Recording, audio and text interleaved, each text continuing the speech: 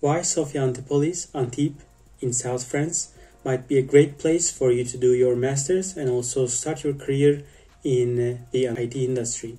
So, to know more about this, uh, let's get into the details in this video. So, the first thing I would like to mention is that Sophia Antipolis is one of the oldest and biggest IT and technology hubs in Europe. You can find lots of different technology companies who are doing great research and development projects and extensive research with the collaboration of great universities and research facilities. So the second thing is that you can also find lots of different engineering and business schools.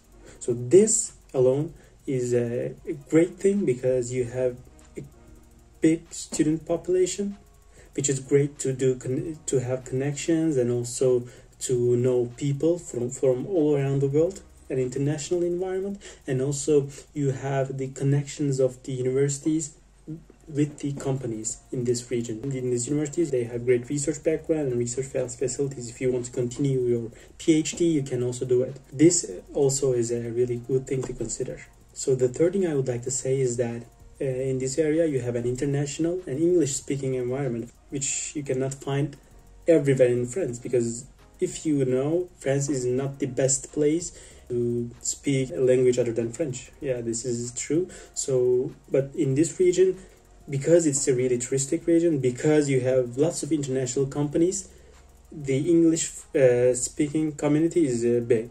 So even the locals, you can find them speaking English. You can find also companies to work. Uh, which does not require you to speak French. You can just uh, start working speaking only English. So, of course, I if you plan to uh, come here, uh, I would encourage you to start learning French. But no worries, if you only speak English, you can also do it. So the third thing is that the cost of living.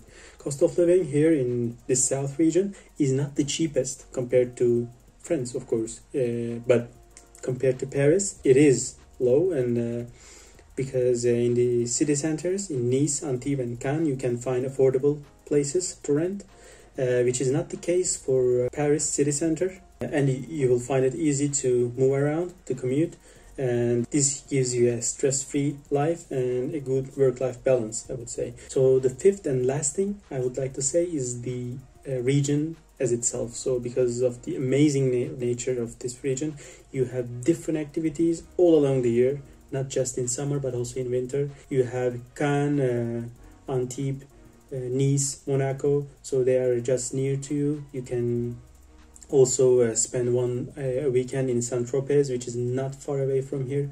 So I would like to thank you for watching the video. Uh, if you have any questions and doubts, you can reach me and ask me directly your questions. If you have any other comments, you can drop them down below. So see you in the next video. Bye.